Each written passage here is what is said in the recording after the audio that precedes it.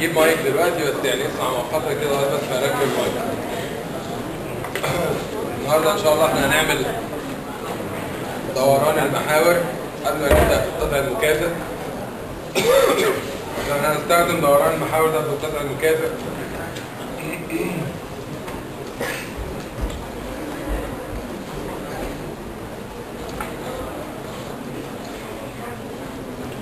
هنتكلم على دوران المحاور شوية قبل القطع المكافئ هنستخدم دوران المحاور ده في رسم القطع زي ما هنشوف دلوقتي. دوران المحاور ده عبارة عن إيه؟ زي ما كنت بتنقل المحاور من نقطة الأصل إلى نقطة بعيدة عن نقطة الأصل دلوقتي إحنا ممكن في نفس المكان وأنت عند ال origin ندور المحاور بزاوية ألفا ندور المحاور ليه؟ ولو دورناها يحصل إيه؟ هنشوف دلوقتي. طيب لو دورتها الأول إيه التأثير اللي يحصل لو جبت محاور x capital y capital تعمل زاوية ألفا مع إكس سمول كده. يقول لك اللي يحصل إن كل x small هتتغير تبقى capital بالمنظر ده وكل y small تتغير تبقى capital بالمنظر ده. إن x small تبقى اسمها x capital cosine الفا minus y capital sine الفا وال y small تبقى اسمها x capital sine الفا plus y capital cosine الفا يبقى ده المنظر بتاع المعادلة بال capital أو بتاع المتغيرات بال capital بدل ال small طب وأنا إيه اللي يضطرني أصلا إن أنا أدور المحاور في أي معادلة؟ أي معادله من أي درجة بأي شكل. عايز احذف منها. معامل واحد فقط. من أي حتة في المعادلة سواء بقى جزء متجانس غير متجانس أي حتة في المعادلة على طول بنعمل دوران محاور. فده مثلا سؤال كان جه في ال quiz السنة اللي قبل اللي فاتت أو اللي قبليها. قال له احذف معامل x من المعادلة من الدرجة الأولى. الناس اتلخبطت بقى عشان دايما متعوده على مسائل الحذف دي إنها بتحذف معادلات تربيعية. لكن هو جايب له معادلة درجة أولى بيقول لي احذف حاجة واحدة بس. دايما عشان أعمل حاجة واحدة بس يبقى الحل إن أنا أعمل دوران محاور بزاويه الفا وتظبط بقى الألفا بتاعتك اللي هتدور بيها المحاور بحيث إن المعامل اللي عايزه يرتفع طيب فأنا أول ما يقول لي احذف معامل كذا وقايل له على طول بدوران المحاور بزاويه الفا وما نقل المحاور يا جماعة كنا بنعمله عشان نحذف إيه؟ كنا بنحذف حاجتين مش حاجة واحدة. وكان لازم تبقى المعادلة بتاعتي بحذف الجزء غير المتجانس اللي فيه يعني لو معادلة تربيعية كنت أقول لك احذف يا ال x يا ال y يا الحد المطلق أي اثنين فيهم. وليه كان لازم احذف حاجتين؟ عشان كان عندي مجهولين مجهول اسمه ألفا مجهول اسمه بيتا فلازم عندي معلومتين لكن أنا ادور المحاور بزاوية ألفا يبقى مجهول واحد بس عشان احذف معامل واحد بس أنا محتاج معلومة وحيدة. طيب دوران المحاور بزاوية ألفا هنستخدم معادلات الدوران بتقول لك بدل 2 x small تبقى 2 x capital cosine minus y capital sine زائد 3 بدل x y small تبقى x capital sine plus y capital cosine زائد واحد يساوي صفر. يبقى ده كده نتيجة دوران المحاور المعدل السمول هتتغير تبقى الكابيتال بالشكل ده. طيب معامل x اللي عايز يحذفه ده فين بقى؟ أجيب له معامل x capital وأساويه صفر. معامل x capital عندي هنا 2 في cosine الفا وعندي هنا 3 في sine الفا تساوي الكلام ده ب zero ويطلع لك معادلة فيها مجهول واحد هو ألفا ولكن مشكلة المعادلة دي إن دايما بيبقى فيها sine و cosine بيقول لك دايما عشان نحل المعادلة دي بنحول المعادلة ل tan. إزاي بانك تقسم المعادلة كلها على cosine ساعتها يبقى كل ال sine عندك tan كل ال cosine تطير. لما نقسم على cosine في المعادلة دي كلها على cosine ألفا يطلع لك إن 2 زائد 3 tan ألفا تساوي صفر. يبقى ال tan الفا بكام؟ سالب 2 على 3 نحسب الالفا بقى إزاي؟ لازم تخلي بالك. انت لو عملت shift tan لسالب 2 على 3 دي calculator هيطلع لك الإجابة مش مظبوطة. فأنت فأنت لازم لما تطلع ال tan بال negative لازم تخلي بالك أنت بتعمل shift tan. لو كانت موجب 2 على 3 كان خلاص عملت shift tan وطلعت الالفا بكام وخلاص. إنما طالما ال tan بال negative لازم نعمل إيه؟ اولا نحذف ثيتا اللي هي tan inverse 2 على 3 بس من غير الإشارة. كده أنا جبت الزاوية المكافئه للزاوية ألفا في ربع الايه؟ الربع الأول. طالما خليت ال tan موجبة بتكلم على الربع الأول.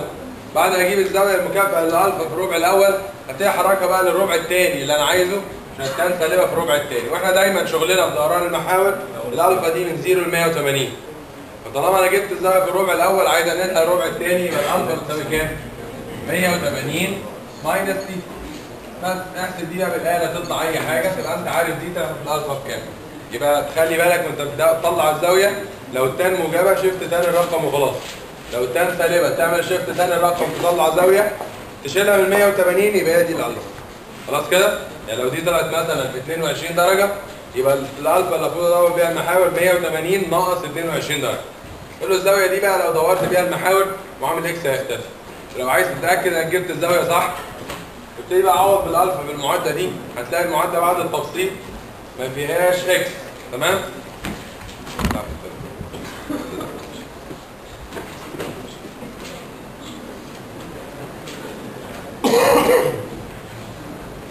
على فكرة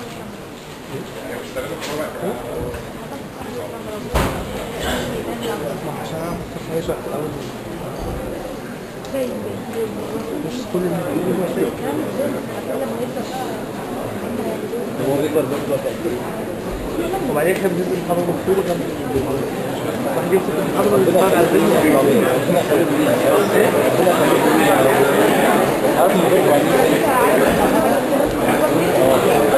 الأول الفيلم تلاقي 29 مية بس بالك إحنا لو بتفصل بعد 29 دقيقة آه 29 دقيقة ماشي معانا انت؟ مش شايفين ان شاء الله بس معانا معانا انت ولا عايز اقعد جنبك؟ لا معايا إيه؟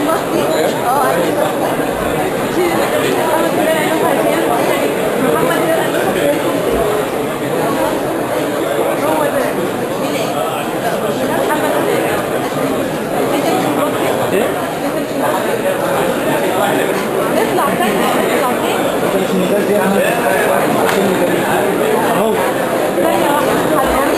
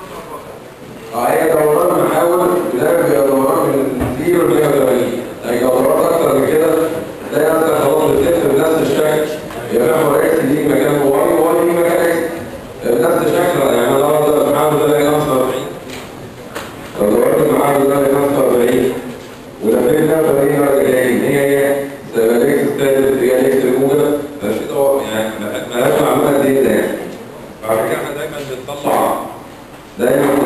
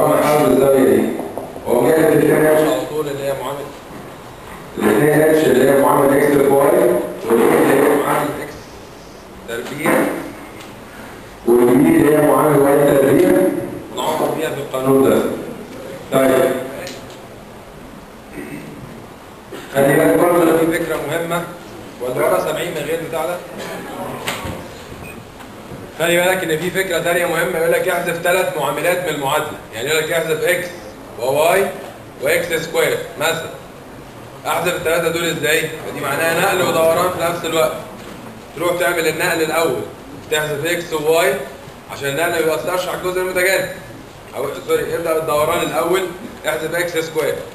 تبدأ الدوران الأول تحذف x square يبقى المعادلة ما فيهاش x تربيع. بعد كده يفضل لك ال x وال y مش هيروح. تعمل بقى نقل بعد كده إنك تحذف ال x وال y والجزء المتجانس مش هيتأثر فال x التربيع اللي حذفتها دي مش هترجع تاني. يبقى أنا لو حذفت لحذف أكثر من معاملين أو يعني ثلاث معاملات x و y و x square مثلا تبدأ أول حاجة تعمل دوران محاور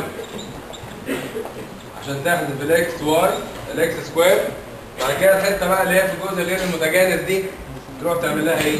نقل محاور ليه؟ لأن أنا أبدأ بالدوران الأول عشان أنا خلاص أنا طالما حذفت حاجة في الحتة المتجانسة مهما نقلت بعد كده ال x square دي أنا عارف إنها مش هترجع تاني صح؟ لأن الجزء المتجانس طالما خلاص وصلت لشكل مش هيتغير بالنقل لكن لو عكست لو عكست وحذفت x y الأول وبعد كده رحت احذف x square ممكن وأنا بحذف x square أروح مرجع ال x y تاني. تمام؟ فعشان كده لازم أبدأ الأول بان احذف ال x تربيع وأظبط الجزء المتجانس الشكل اللي أنا عايزه. بعد كده أنا بقى زي ما أنا عايز احذف x y فدول مسألتين. المسألة اللي أنا حليتها دلوقتي المسألة اللي إحنا حليناها قبل كده. فهم يطلب ثلاث حاجات لازم الثلاث حاجات دول يطلبهم. اثنين في الحتة غير المتجانسة. وواحده في الحته المتجانسه ساعتها لازم تعمل معادله تربيعيه لأن مستحيل يحذف هنا ثلاث حاجات معادلة من الدرجة الأولى يحذف المعادلة كلها كده. تمام؟ يبقى دي كل أفكار دوران المحاور لكن أهم فكرة فيها هي إنك تبقى حافظ القانون ده وتعرف تثبته وإنك إزاي تستخدم الحذف لح- دوران لحذف أي معامل من المعادلة. أنا حليت ده مساله عليه آه أنا ما برجعش المحاور دايما حتى في النقل. لما كنت بروح احذف حاجات عمري ما كنت برجع المحاور خلاص. لأن الحذف أنا بقول لك هات لي شكل جديد ما فيهوش بعض المعاملات لكن معادلات الترجيع عموما لو أنت عايز ترجع المحاور لأصلها هي المعادلات دي. المعادلات دي أنت مش مضطر تحفظها وخلاص. لو حفظت دول تستنتج دول منهم بسهولة قوي المعادلات اللي تحت هي هي اللي فوق بس. ال small بقى capital وال capital بقى small اولا. ثانيا أي حاجة فيها sine alpha اشارتها اتغيرت. أي term فيه sine alpha اشارته بتتغير بس فده كان minus بقى plus وده plus بقى minus إيه بقى لازمه دوران المحاور ده؟ لازمته بالقطع المكافئ اللي إحنا بنتكلم فيه.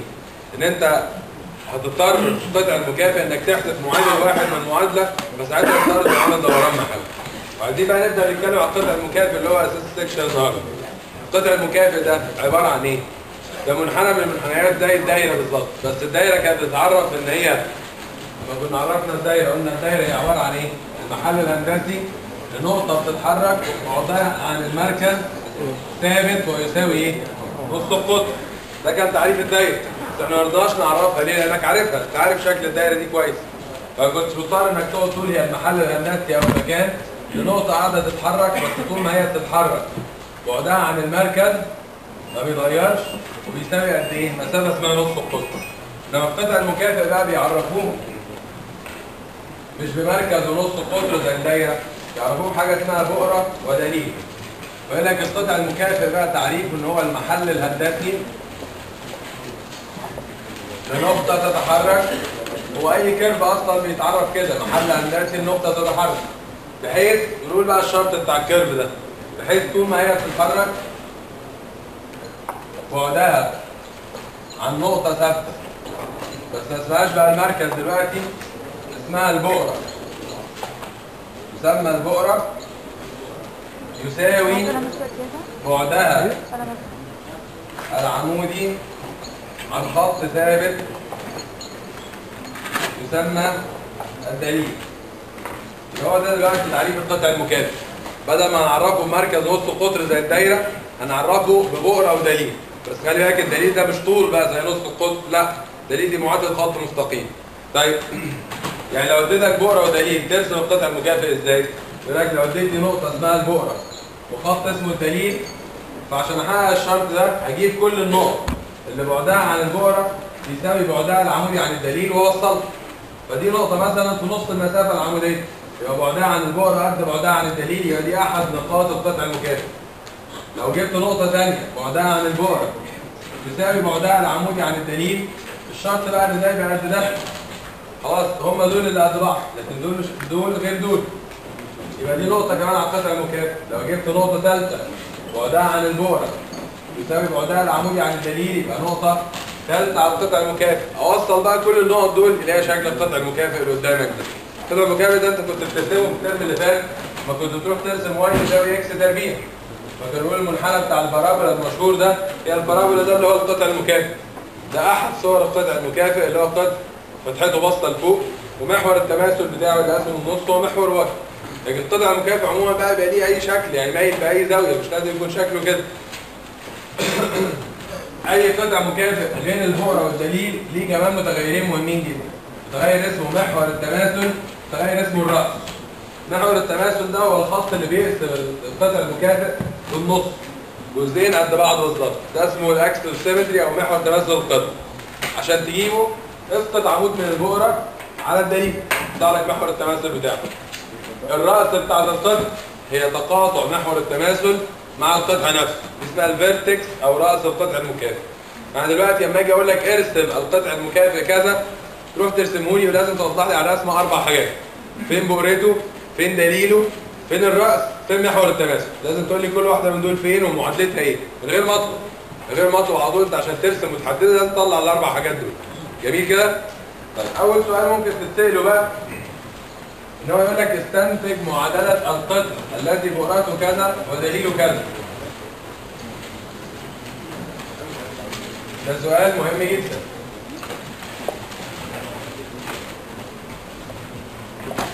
معادلة القطع المكافئ الذي بؤرته اثنين وثلاثة ودليله 2 x زائد 3 y زائد 1 يساوي صفر بعدين نستنتج معادلة القطع اللي أنا بديك البؤره والدليل بتاعه. ده نستنتجها إزاي بقى؟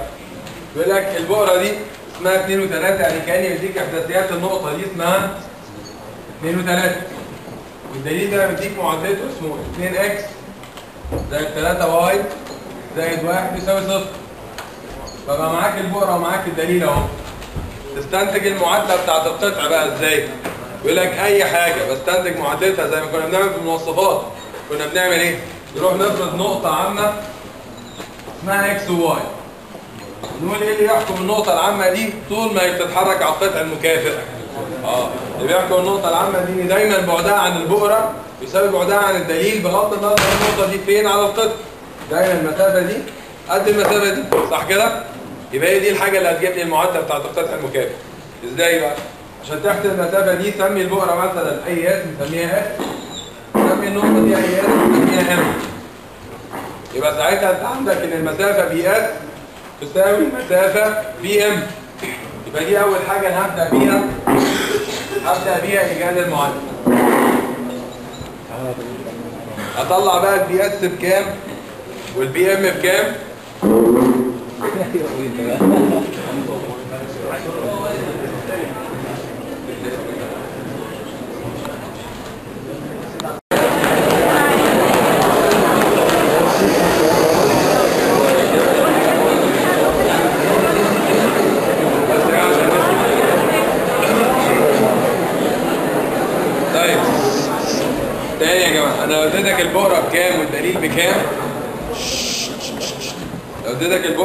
والدليل بكام تقدر تستنتج المعادلة زي ما اتفقنا انت بتفرض نقطة عامة تقول أي نقطة عامة اسمها x و y ما اسمهاش حاجة ثابتة. أي نقطة اسمها x و y بعدها عن البؤره مساوي بعدها عن الدليل. سميت البؤره s فقلت إن ال p s بتساوي المسافة p m طب ونطلع p s و p m دول بكام؟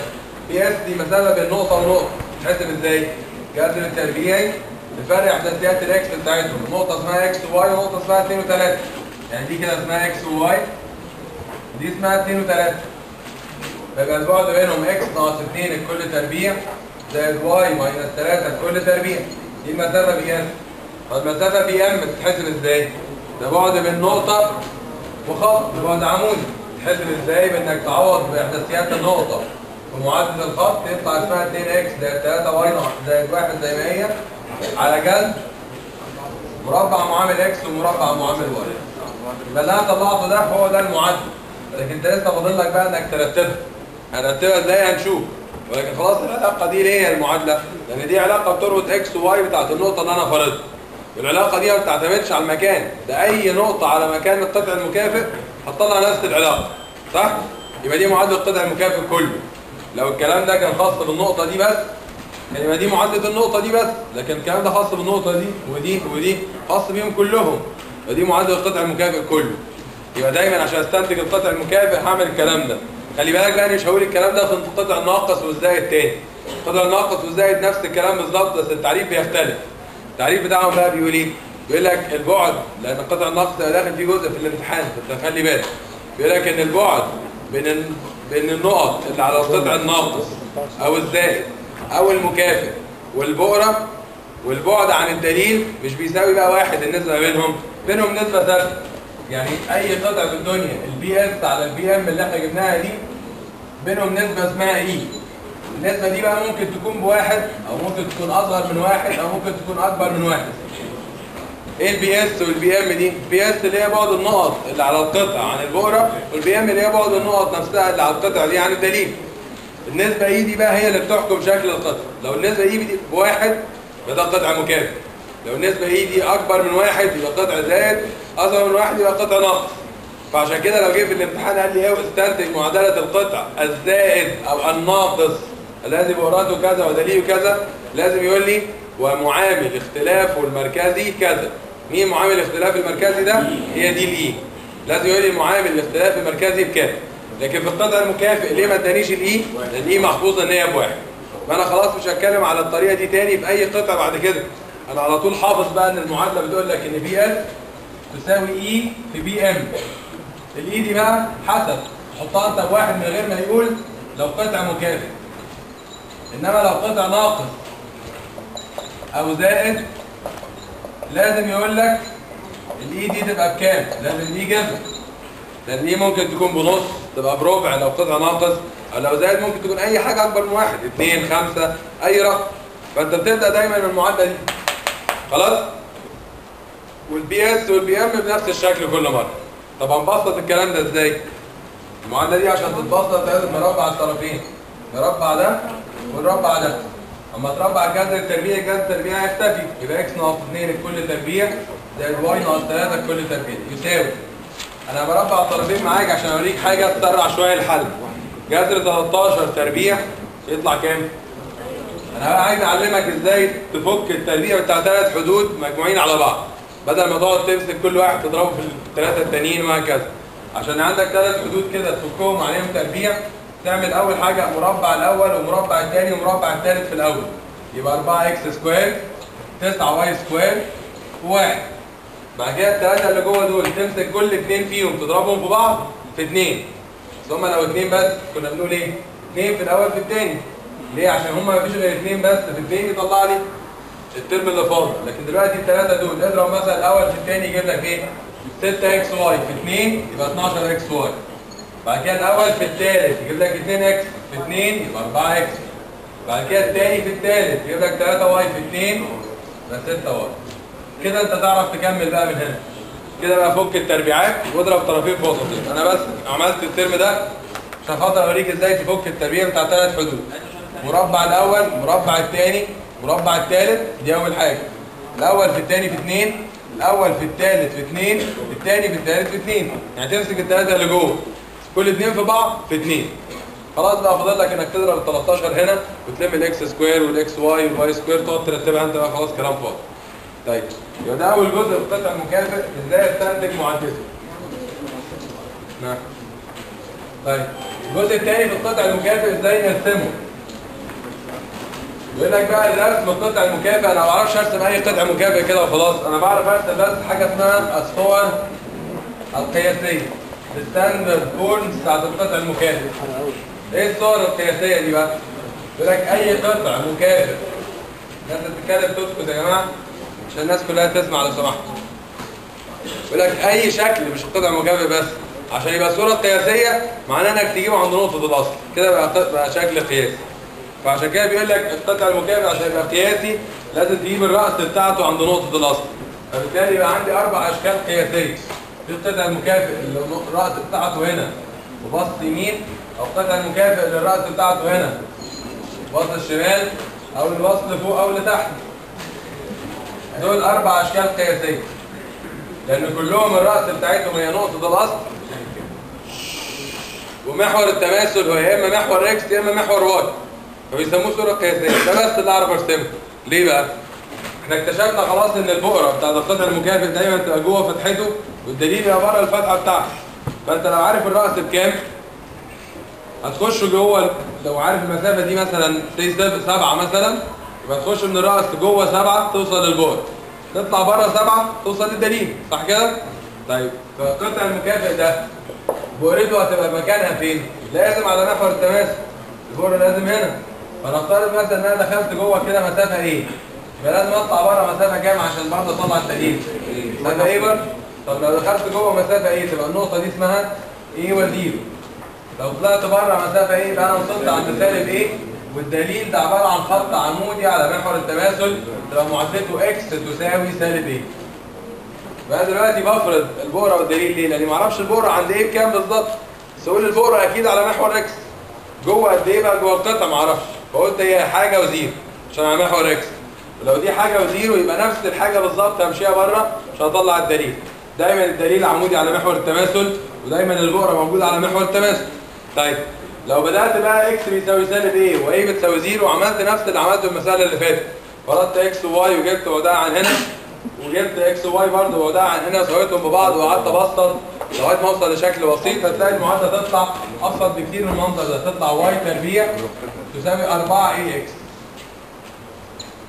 إنما هنا البؤرة هتبقى عند السالب والدليل هو اللي هيبقى عند الموجب. دي سالب a و zero و x بيساوي a لو بدأت بقى بالمنظر ده وقعدت أفرض x و y برضه وأجيب المسافه دي والمسافة دي وأساويهم ببعض يطلع لي y تربيع تساوي سالب 4 a x طيب إنما لو البؤرة اتعكست بقت على محور y هتبقى دي اسمها zero و a عشان دي ملهاش x عشان على محور y. ساعتها الدليل هيبقى افقي تبقى معادلته y تساوي مش x تساوي. سالب a؟ وهنا برضه y يساوي a عشان بقى في الموجب وهنا zero وسالب a. يبقى الحاجات اللي أنا بفرضها دي كلها عشان ليه ما أعرفهاش بكام؟ فرقني إيه بقى؟ أي a في الدنيا؟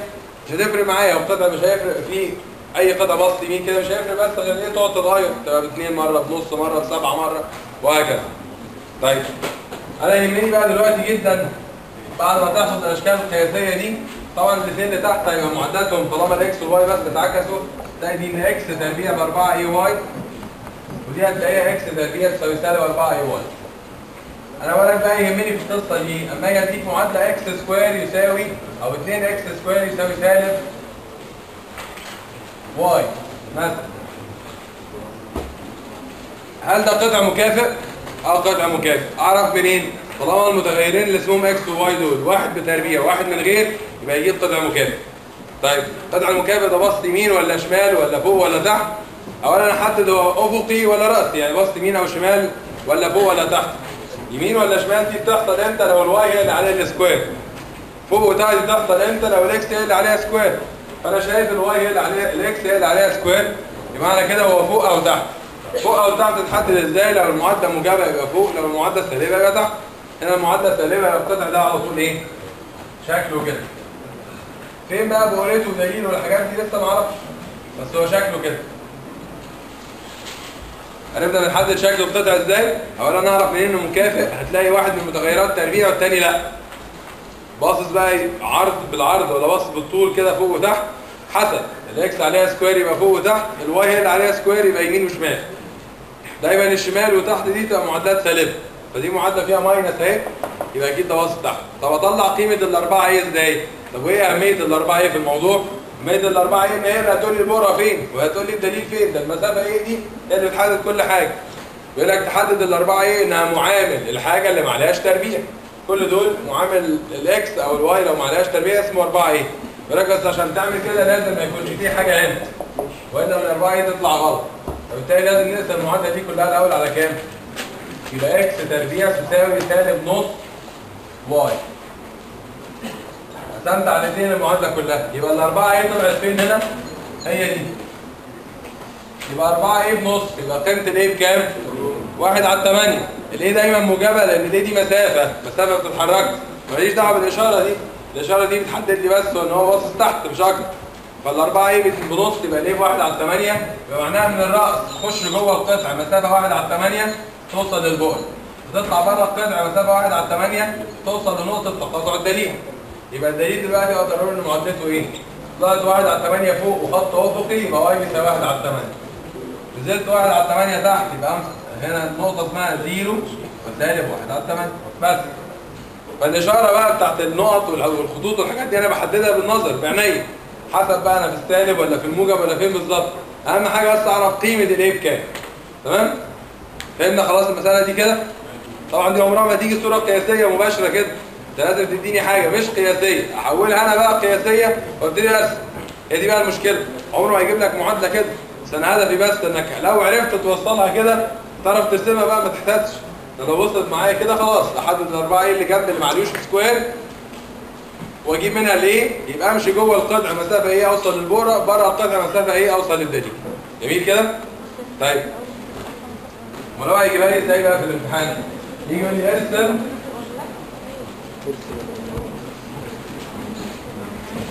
ارسم القطع x square أو 2 x square زائد 4 x minus 2 y تساوي صفر حاجة زي كده مثلا يقول لك ارسم القطع ده. وفي الامتحان مش هيقول لك القطع ده مكافئ ولا ناقص ولا زائد. انت مش محتاج تعرف الكلام ده. ليه؟ لأن كلهم ليهم نفس الحل. كل القطع المكافئ والناقص والزائد كلهم هما بيترسموا ليهم نفس الحل بإن أنا أحولهم صورة قياسية. طبعا ده كده مش صورة قياسية. بسبب إن ال x square وفي x وفي y ما ينفعش. طيب. بيقول لك تعمل إيه بقى؟ تعمل إكمال مربع.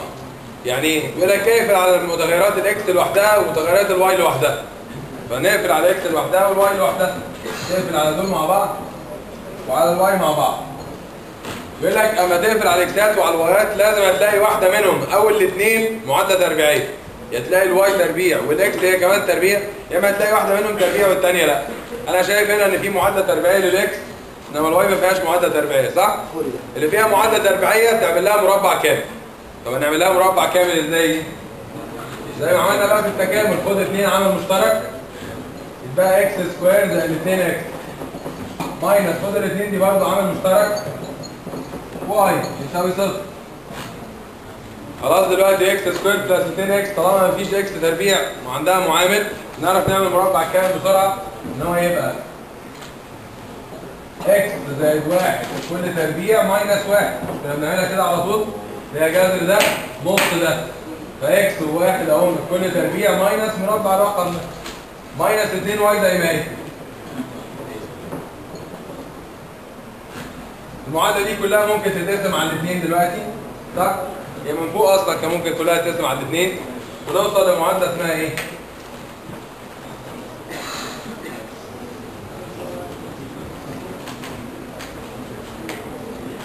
معادله اسمها x plus 1 square minus 1 minus y تساوي 0 صح كده؟ حد عنده اعتراض وصلنا فوق هنا إزاي؟ طب جميل جدا. رتب لي بقى المعادلة شبه حاجة من القياسيين. يعني إيه شبه حاجة من القياسيين؟ يعني تخليها حاجة تربيع تساوي قوس تاني من غير تربيع. الحاجة التربيع اهي كملت خلاص جاهز كل اللي ما فيهوش تربيع ده بقى يروح هناك. فبالتالي المعادلة تبقى x plus 1 كل تربيع يساوي y plus 1 خلاص كده أنا وصلت قوس بتربيع وقوس من غير يبقى أنا كده قربت قوي من شكل بتاع القطع المكافئ طيب ركز معايا بقى في حاجة. دايما بعد اكمال مربع معامل x هنا بيبقى بواحد. لأن أنا دايما باخد معامل x تربيع مشترك برضه لو في أي معامل لل y هنا لازم تاخده بره عامل مشترك. لازم ال x وال y بعد ما تخلص خالص ما يكونش قدامهم معاملات.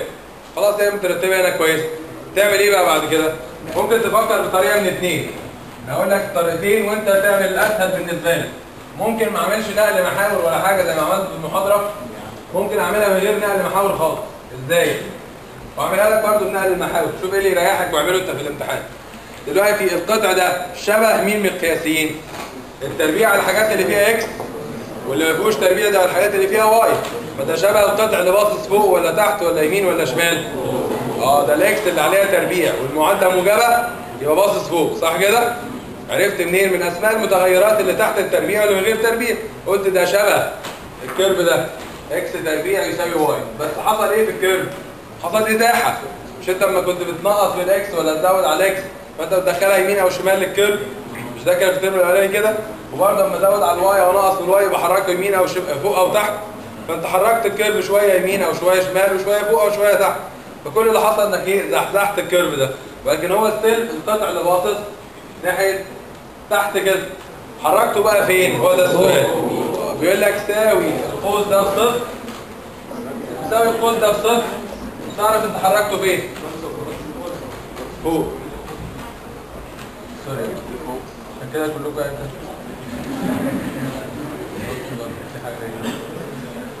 طيب. هو قدر الوسط ناحيه فوق. sorry معلش.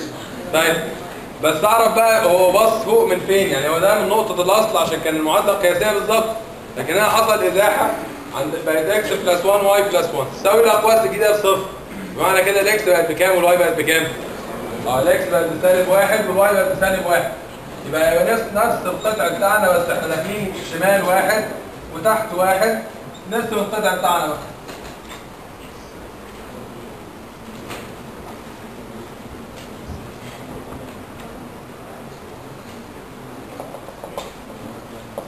سالب واحد وسالب واحد. يبقى الرأس بقت عند إيه؟ عند سالب واحد وسالب واحد. يبقى ده الاختلاف الأولاني.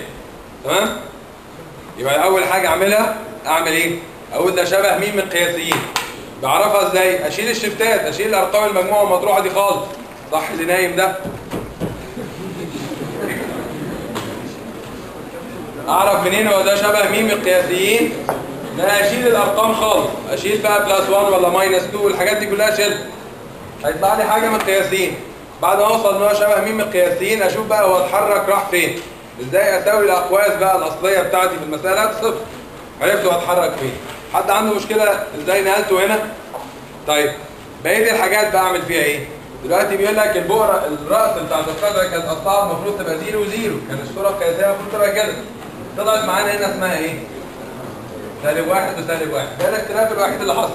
طيب الإيه قيمتها كام يا جماعة؟ الأربعة إيه دايما إيه؟ المعامل بتاع الحاجة اللي ما عندهاش تربيع صح؟ بشرط بس إن التربيع ده يبقى معامل واحد. ففعلا اول التربيع ده ما ادوش معامل يبقى الأربعة إيه؟ هنا في المساله بكام بواحد فكأن هنا دي الأربعة إيه؟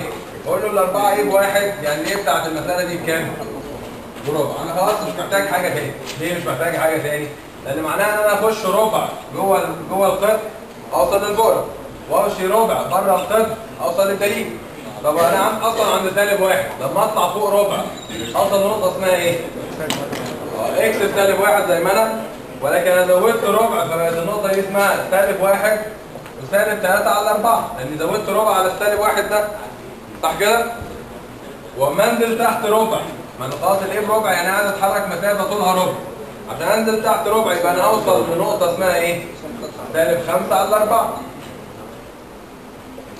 يبقى أنا كل اللي بعمله إن السالب واحد بزود عليه ربع أوصل للبؤرة أشيل منه ربع أوصل للدليل طيب يبقى الدليل ده هتبقى معادلته إيه؟ ده خط أفقي يبقى واي بيساوي سالب 5 على 4 خلاص جبت له الدليل وجبت له البؤرة وجبت له الرأس ومحور التماثل مش محتاج مخ خالص لأن خط رأسي عند سالب واحد معادلته x تساوي سالب واحد فأنا خلصت المسألة. الطريقة دي أنا ما نزلتش فيها المحاور ولا عملت فيها أي حاجة غير إن أنا قعدت أفكر بس شوية. فكرت في إيه؟ فكرت في ثلاث حاجات. أول حاجة هو شبه مين القياسيين شلت الإزاحات اللي حاطة في المسألة. دي أول حاجة. عرفت هو شبه مين القياسيين تاني حاجة طب الرأس بتاعته بقت فين؟ سويت الأقواس اللي فيها إزاحات دي بصفار عرفت الرأس بقت فين؟ الأربعة إيه؟ قيمتها كام؟ يا إما تبص على دي اللي هي من غير إزاحات يا إما تبص على دي بإزاحات مش فارقة. أنت كده كده ناقل نفس المعدل فالأربعة إيه من هنا بكام؟ بواحد. والأربعة إيه من هناك برضه بواحد. فالأربعة إيه بواحد يبقى إيه بربع. من الرأس بقى خش ربع فوق وربع تحت وصلت للبؤرة وصلت للدليل بس محتاج تفكر بقى أما أطلع ربع فوق يبقى أنا أزود ربع على السالب واحد يبقى عند الواي بسالب 3 على 4 إنما ال x بكام؟ أنا عند نفس ال x اللي هي بسالب واحد محور التماثل اللي هو الخط ده الخط ده عند x بكام؟ بسالب واحد. وخط راسي يبقى معادلته x تساوي سالب واحد. أما أنزل تحت ربع يبقى عند سالب 5 على 4 وده خط افقي يبقى y بيساوي سالب 5 على 4 ده حل في حل تاني بقى بنقل المحاور. إن واحد يقول لك إيه؟ لا يعني مش عايز أفكر في حاجة. أنا عايز x plus 1 تربيع y plus 1 أشيل x plus 1 دي أسميها x capital y plus 1 دي أسميها y capital وأقوم رايح عامل جدول. الجدول ده فيه الرأس والبؤرة والمحور والدليل. مش عايز كلام يا جماعة صح مش عايز كلام عشان الناس كلها الصوت يوصل لها. وعامل جدول فيه الأربع حاجات دول وقلت دلوقتي أنا بعد ما جبت الحاجات ال capital دي ده معناه إيه؟ معناه إن أنا شلت كل x plus 1 وحطيت مكانهم x capital وكل y plus 1 وحطيت مكانهم y capital صح؟ وده معناه طيب بعد كده بقى أعمل إيه؟ أبتدي أشوف أعمل ثلاث أعمدة للجدول ده ثلاث أعمدة دول فيهم إيه؟ ده شبه مين من القياسيين شبه x تربيع يساوي 4 a y هو شبهه بس مش زيه بالظبط طيب. القطع ده محفوظ بقى الرأس والدليل والبؤرة بتاعته اللي هو القطع اللي فوق فالراس بتاعته 0 0 والبؤرة بتاعته 0 a والمحور بتاعه محور y اللي معادلته x 0 والدليل بتاعه اللي هو عند y يساوي a ده حفظ. ما ده واحد من الأربعة. الأربعة دول أنا حافظ الأربع حاجات بتوعهم على طول. بعد كده أقول له طب ال a في المسألة دي بقت بكام؟ يعني أحط ال a بكام؟ بحيث يبقى شكل المعادلة زي دي. a بربع. عشان تبقى 4 a دي كلها بواحد. اقوم حاطط بقى 0 0 بعد كده 0 وربع بدل 0 a وبعد كده x تساوي 0 بدل y بتساوي a تبقى y بتساوي ربع. y بتساوي a؟ مش y. سالب a؟ y بتساوي سالب ربع. يبقى ده كده الشكل بال a بتاعته العمود الثالث ده بقى هعمل فيه إيه؟ اشيل كل x capital ارجعها x small كل y capital ارجعها y small. إزاي؟ بالعلاقات دي مش انت معاك هنا النقطة اسمها x capital ب zero و y capital ب zero فلو الاثنين دول ب zero يبقى دول بكام؟ وادي الواحد هناك بالعكس الاشارة يبقى سالب واحد وسالب واحد لو إكس كابيتال بزيرو يبقى الاكس سمول بكام؟ سالب واحد عوض بقى بال capital هنا واجيب ال small لو x capital بربع يبقى x small بربع minus واحد يعني minus 3 على الأربعة x ب zero لو ال x capital عايز أشيلها وأحط مكانها حاجة سمول بحط مكانها إيه؟ x plus 1 يساوي 0 y capital بتساوي سالب ربع. لو y capital عايز أشيلها وأحط مكانها حاجة small ب y plus 1 يساوي سالب ربع. هيطلع الحاجات دي؟ هي الحاجات اللي أنا موقعها على الرسمة بالظبط. فكان ما فكرتش بس. أنت عندك حل من اتنين بقى. عايز تعملها بالجدول كده؟ اعمل. عايز تعملها بالتفكير من إن أنت تعرف الرأس فين؟ تقعد تتحرك بالايه يمين وشمال والكلام ده؟ أو فوق وتحت على حسب القطعه عامل إزاي اعملها برضه. يعني أنت مش مطلوب منك إنك تطلع لي الجدول ده مطلوب منك إنك تطلع لي الرسمة وتوقع لي عليها الحاجات دي. مين أسهل في دول؟ ماشي. مش في أسهل في دول أسهل في الثانية كل واحد مستسهل حاجة بقى يعملها. الطريقة الأولى تاني يا جماعة أنا بعمل إيه؟ ما بشتغلش سيستماتيك بشتغل بس ان أشوف إن ده شبه مين من القياسيين وأقوم رسمه برسمه على جنب. واحدد الرأس اتشفتت راحت فين. إن اساوي ده بصفر واساوي ده بصفر. بس فرحت عند الثاني بعد سالب واحد. من الرأس دي بقى أتحرك إيه جوه القطع وإيه بره القطع. جبت البورة والدليل الايه دي اجيبها منين؟ المعامل ده. أربعة a؟ يبقى ال a بربع. بس أحط ال a بربع يبقى أمشي كده ربع. وأنزل كده ربع وصلت للبؤرة وصلت للدليل. بس. وأطلع بقى معادلة إيه عشان خط أفقي يبقى y يساوي؟ y يساوي. إنما المحور عشان خط رأسي يبقى x يساوي. طيب خلي بالك من حاجة كمان. إن أنت الرسمة دي هحاسبك على حاجة فيها مهمة أوي ناس كتير بتغلط فيها في الامتحان. هحاسبك أنت قاطع هنا صح ولا غلط. يعني إيه أنا كنت راسم الأول ان أنا بقطع هنا وبعد كده عدلتها. أنا ما أعرفش أصلا هي بتقطع فين. أنت لو بتقطع في الموجب لازم تخليها تقطع في الموجب.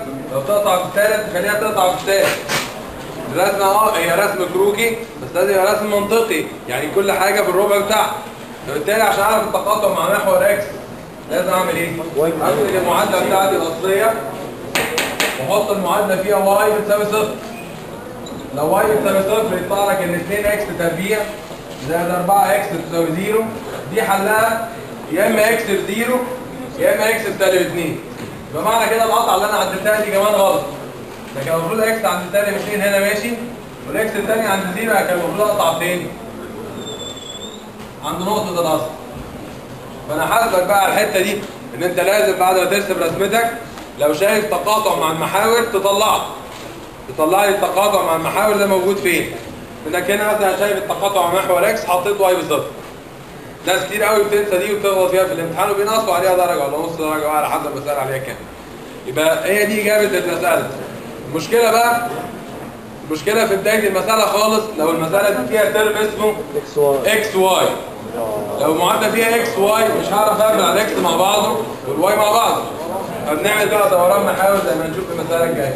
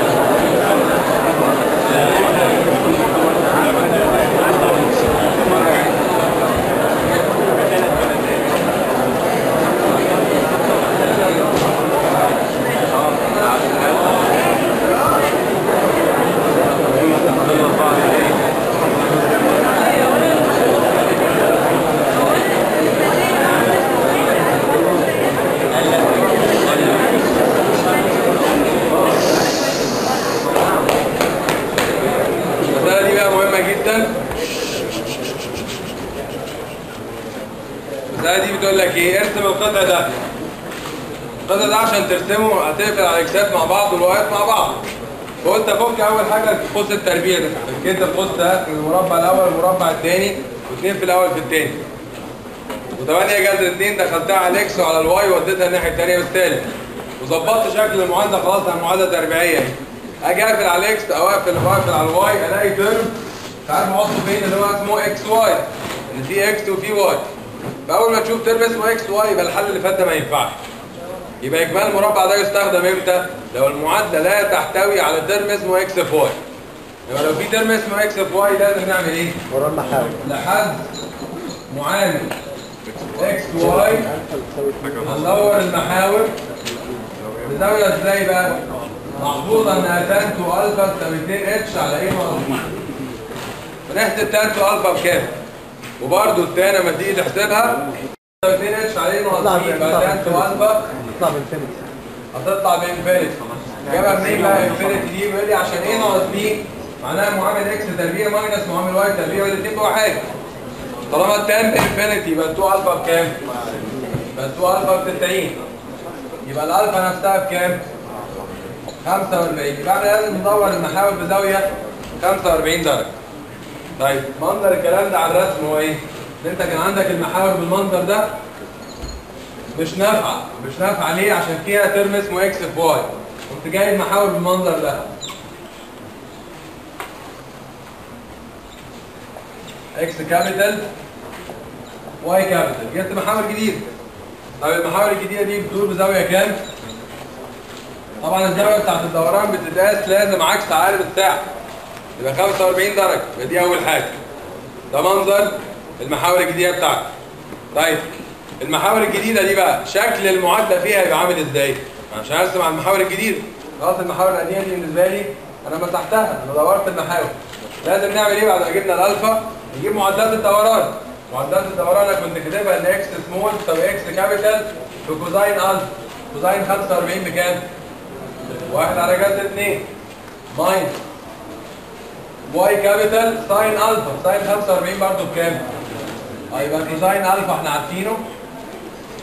sine الفا برضه إحنا عارفينه. هما الاثنين واحد على جذر 2 عوض في القوانين بقى minus y capital على جذر 2 والواي سمول هتبقى نفس الكلام. x capital على جذر 2 بس زائد y capital بقى على جذر 2 فدي اسمها معادلات الدوران. أعمل إيه بقى بمعادلات الدوران دي؟ أشيل كل x small y small هنا بال capital واقعد ابسطها عشان أشوف شكلها بال capital عامل إزاي. سعيا نحو شكل ما فيهوش x في y صح كده؟ عشان عايز أخلي المعادلة ما فيهاش x في y فده اللي أنا بعمله. ان أنا اعوض مكان x small y small بالمنظر ده. المفروض المنظر الجديد لو أنا جايب الألفا صح ما يبقاش فيه x y طب بس خليك بقى ناصح في المسألة دي بالذات اهي. أنا اعوض فوق. تعوض شوية بتاعك الكبيرة دي. لما اعوض فوق يبقى x ناقص y يبقى كأنك بتعوض بدي minus دي هتلاقي نفسك لما تطرحهم ال x جنب النقطتين ويطلع لك y بس. فتعوض في الشكل الاوسط مش لازم تعوض في الكبيره قوي دي تقعد تعك نفسك في التبسيطات يبقى x minus y تطرح ده minus ده. ده minus ده يطلع كام؟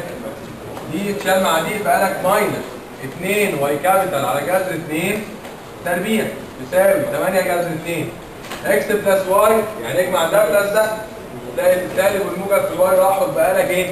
إكس جذر 2 مرتين إكس على جذر 2 مرتين يبقى 2 x على جذر 2 كده بقت شكلها إيه احسن بدل ما كنت عاوز البتاع الكبير قوي رتب بقى الكلام ده هتلاقي الكلام ده لما نربعه هيبقى 4 على 2 يعني نص.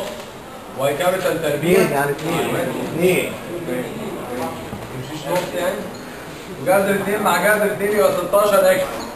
اقسم كله على 2 يطلع لك y تربيع يساوي 8 x. ولحسن حظك وده عادة اللي هيحصل في الامتحان إنك بعد ما تدور المحاور تطلع معادلة قياسية على طول. ده أنا ممكن بعد ما أدور المحاور ألاقي يطلع لي هنا y تربيع و y و x.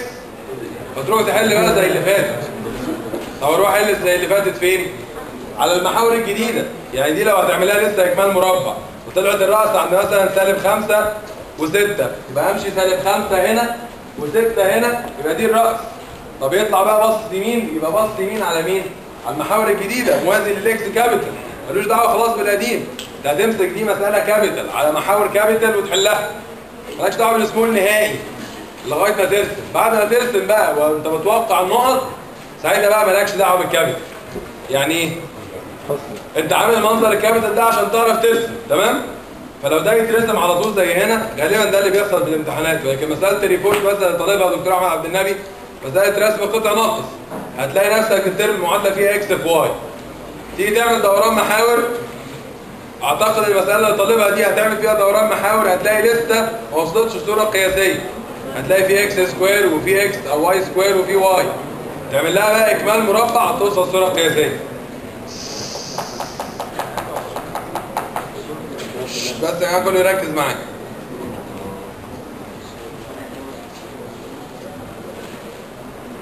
فكده طبعا بيبقى طويل قوي في الامتحان. بيبقى طويل قوي في الامتحان. فعادة إحنا بنعملها إنك مجرد تدور محاور تبقى قياسية. يعني لسه في شغل هيتعمل. أنا مش مجرد أرسم يعني أعمل سكتش يعني أقول له خلاص ده واي تربيع يبقى قطع بسط يا يمين يا شمال. وموجبه يبقى قطع بسط يمين فيبقى نسبته عاملة كده. أنا مش مجرد هرسم كده.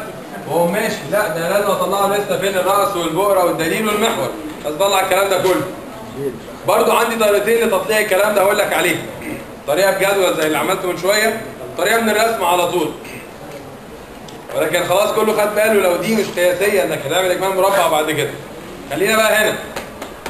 الأربعة إيه كام في المسألة دي؟ ما هي دي الأربعة إيه؟ يعني ليه في المسألة دي بكام الايه دي بقى ممكن تطلع لي كل حاجة. أنت مش مسموح لك إن الايه ب 2 يعني أنت المفروض تقول لي أمشي كده 2 مش مسموح لك إنك تكلم دي اسمها 2 وزيرو. مش مسموح الكلام ده. ليه؟ لأنك معنى كده أنت كتبت الاحداثيات بالنسبة لمين؟ بالنسبة لمحاور ال capital قلت إن مشيت كده 2 وما طلعتش كده حاجة بيبقى 2 و zero. مش مسموح إنك توقع أي احداثيات أو معادلات بال capital ليه؟ لأن محدش يعرف ال capital ده غير. أنا عايز لما أشوف رقم كده. يبقى دي بالنسبة للمحاور الأصلية مش المحاور الجديدة. فعشان كده المشكلة إن أنت مش هتعرف تطلعها بالنظر زي اللي فاتت دي. ولكن ممكن نعمل إيه بقى؟ نقول مش ال a باثنين يعني أنا بخش جوه اثنين مش أنت كنت بتعمل في الاستاتيكا تحليل قوة تقول الاثنين دي أحللها في ال x واحللها في ال y. نفس الكلام. الطول ده احلله في اتجاه ال x عشان أشوف إحداثيات x بتاعته كام. واحلله في اتجاه ال y عشان أشوف إحداثيات y بتاعته كام. فيبقى 2 cosine 45 و2 sine 45 فالنقطة دي اسمها 2 cosine 45 و2 sine 45 يبقى دي احداثيات النقطة الصح. وانت هتبقى عارف الزاوية دي بكام دايما؟ مش دي الزاوية اللي انت محددها بتاع دوران المحاور؟ انت دورت المحاور ب 45 دورتها ب 20 درجة ب 30 درجة مش هتفرق. كده كده هتقول المسافة بتاعت ال a؟ ب cosine ثيتا. المسافة بتاعت ال a؟ ب sine ثيتا. تعرف احداثيات النقطة دي كام؟ طب ها؟ حد يسأل حاجة؟ طيب. طب الرأس دي ده الدوران عمره بيحرك الرأس لمكان دوران انت مرتكز على نفس ال origin. فالرأس معروفة إنها zero zero طب لو عايز أجيب محور التماثل معادلته إيه؟ ده سهلة جدا. ده خط يمر بنقطة الأصل. يبقى معادلته y تساوي m x. ومفيش سي عشان بيمر بنقطة الأصل. طب ال m أجيبها إزاي؟ tan الزاوية. وده كمان هنا في المسألة دي بالذات ده أشهر خط في الدنيا اللي هو y بيساوي x. يبقى معادلة الخط ده اللي هو محور التماثل مش هسميه بقى x capital هسميه y يساوي x. عشان ما ينفعش اكتب له أي معادلة غير بالسمول يبقى أنا كده كان محور التماثل ده خط مستقيم. يمر بنقطة الأصل ويصنع زاوية 45 مع محور x. يبقى ميله tan 45 يمر بنقطة الأصل يعني ستيل زيرو. طيب وأمشي إيه كده؟ أوصل لنقطة بتاعت إيه؟ بتاعت الدليل. طب النقطة بتاعت الدليل ده الدليل رسمته عاملة إزاي؟ ده زي يبقى عمودي على محور التماثل ده الدليل. عشان أجيب معادلة الدليل بقى أنا محتاج إيه؟ محتاج نقطة على الدليل ومحتاج ميل الدليل صح كده؟ طب أجيب نقطة وميل إزاي؟ مش أنت معاك ميل الخط ده بواحد؟ وده عمودي عليه يبقى ميله بكام؟ سالب واحد بس يبقى الميل سالب واحد طب النقطة اجيبها منين؟ مش أنت معاك المسافة دي 2 حللها بقى cosine برضه 45 ما دي 45 دي 45 ده 2 cosine 45 و2 sine 45 تعرف إحداثيات النقطة كام؟ بس تظبطها بقى إنها في الربع الثالث يعني لازم ال x سالبة وال y سالبة. فبالتالي بقى إحداثيات النقطة دي سالب 2 على جذر 2 سالب 2 على جذر 2 بقى معاك نقطة وميل اكتب بقى معادلة الدليل ده y minus y النقطة على x minus x النقطة يساوي الميل. حط بقى الميل والنقطة اللي انت طلعتهم كده يبقى أنا طلعت الرأس عند 0 0 ما اتغيرتش. دخلت اتنين جوه. وحللتها. جبت احداثيات البؤرة. طلعت اتنين بره. وحللتها. جبت نقطة على الدليل. وجبت ميل الدليل انه عمودي على المحور. فخدت ميل المحور وشقلبته وضربته ب minus رابع حاجة. آه ده رابع حاجة أنا قلتها. هو المحور. آه المحور نفسه يبقى y بيساوي x. اللي هو خط بيمر بنقطة الأصل وميله 45 نعم. وهل بتحلل على x small y small ولا على أنا بحل أكيد على الاسم هو أنا بقول لك ال x capital y capital لما تحتهم أصلا. دول بالنسبة لي كأنهم بقوا خطوط. أنا كنت حاططهم أصلا ليه ال capital دول؟ عشان أعرف أرسم. بس مجرد رسمت بقت بالنسبة لي خطوط مستقيمة. مش محاور.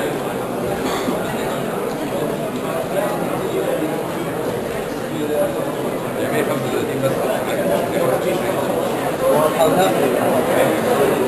35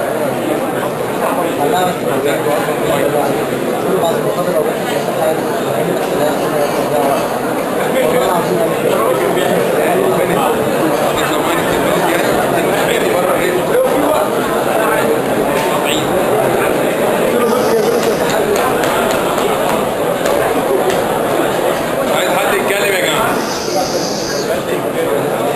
عايزين كلام لو سمحت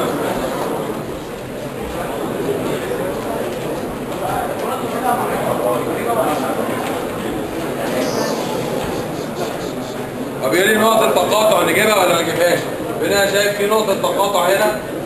معرفش في نقطة تقاطع هنا ولا لا. نقطة التقاطع مش مهمة. ليه؟ لأن كده كده أنا أنا هبدأ من هنا. كده كده هتقطع في ال y الموجب. لما يهمنيش أنت هتقطع في ال y الموجب فين؟ يعني بس إنك تقطع في الموجب صح أو في السالب صح ما يهمنيش النقطة دي بكام. في الدوران مش مهم نقطة التقاطع لكن في النقل هي اللي مهمة. عشان تعرف بقى أنت هتتجاوز نقطة الأصل ولا هتبقى عند نقطة الأصل بالظبط ولا قبلها ولا إيه بالظبط. في حل تاني برضه بالجدول. إنك تعمل إيه؟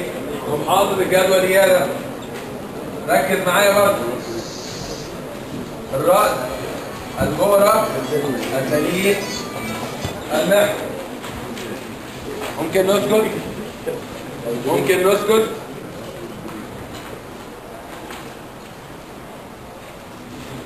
الرأس بتاعتك هتشوف حسب ده شبه مين من المشهورين. فين هو ده؟ y تربيع يساوي 4 x القطع اللي باص ناحية اليمين. اللي باص ناحية اليمين الرأس بتاعته 0 و0 والبؤرة بتاعته a و0 والدليل بتاعه y يساوي ب capital بقى طبعا عشان معادلات ال capital x يساوي سالب a والمحور بتاعه y يساوي 0 طيب بعد كده ال a بتاعتنا هنا بكام؟ ب 2 حاطط كل ال a ات دي ب 2 ده 0 و0 2 و0 x يساوي سالب 2 y يساوي 0 بعد كده الخطوة الثالثة. أرجع كل حاجة capital small كل y capital small نرجع ال capital small إزاي؟ مشكلة بقى شوية في الدوران لازم يبقى معايا معادلات الدوران ومعادلات ترجيع الدوران معادلات ترجيع الدوران هي نفس المعادلات بس كل small يبقى capital وكل term بتاع sine اللي هو ده وده يغير إشارته بس تبقى x capital تساوي x على جذر 2 زائد y small على جذر 2 وال y capital تبقى minus x small على جذر 2 plus y small على جذر 2 دي معادلات ترجيع الدوران طيب أعمل إيه بقى بمعادلات ترجيع الدوران دي أشيل ال x capital باسمها بال small. وال y capital باسمها بال small. فاجي عند الخطوط سيبك من النقط دلوقتي. أشيل كلمة x capital دي وأحط مكانها إيه؟ أحط مكانها x على جذر 2 زائد y على جذر 2 تساوي سالب 2 مكان ال y capital أحط minus x على جذر 2 plus y على جذر 2 تساوي 0 فطبعا لو رتبت الكلام ده تضرب في جذر 2 وتودي ال x بالموجب يطلع لك y بيساوي x أهو. ما هو ده اللي إحنا مطلعينه من زمان. طيب أمال النقط أعمل فيها إيه بقى؟ المشكلة إنك عندك قيمة ال x capital مثلا هنا ب 2 وال y capital ب 0 فأنت معاك قيمة ال x capital وال y capital لو عوضت بيهم هتضطر تحل معادلين في مجهولين. فعشان كده يقول لك استخدم معادلات الترجيع دي بس لو عندك معادلات. معادلة وعايز ترجعها. إنما لو عندك إحداثيات نقط. وعايز ترجعها استخدم أحسن معادلات الدوران يعني عايز أرجعها لاصلها ليه بقى؟ لأن x capital ب 2 y capital ب 0 وعوضهم هنا. تعرف الاكس سمول بكام؟ ف 2 على جذر 2 minus 0 على جذر 2 يعني 2 على جذر 2 طب وال y اجيبها منين؟ حط ال 2 و0 بقى هنا.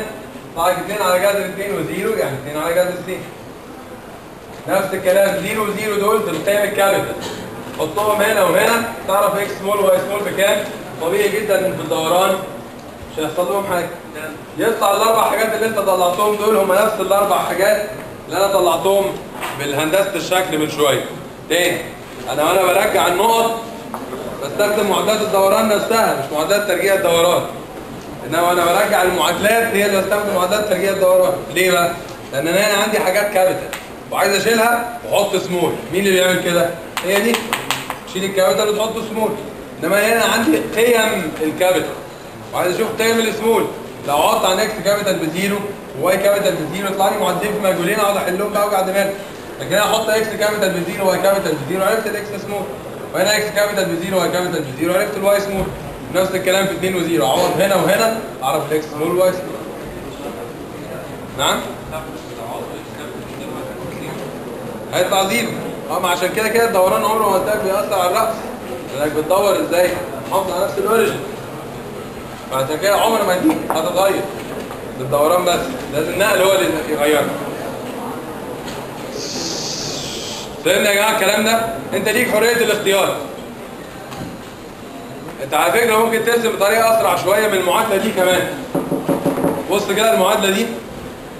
مش دي معادلة مترتبة أصلا شبه القطع النقط شبه القطع المكافئ أصلا.